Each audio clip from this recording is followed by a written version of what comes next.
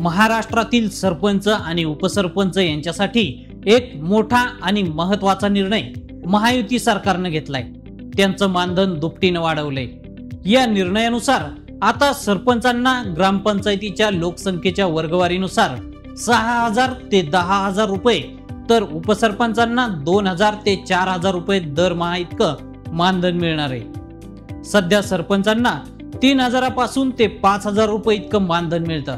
तर उपसरपंचांना दरमहा एक हजार ते दोन हजार रुपयेपर्यंत मानधन मिळते महाराष्ट्रातील अठ्ठावीस हजार आठशे तेरा ग्रामपंचायतींच्या सरपंच आणि उपसरपंचांना या मानधनवाढीचा लाभ मिळणार आहे.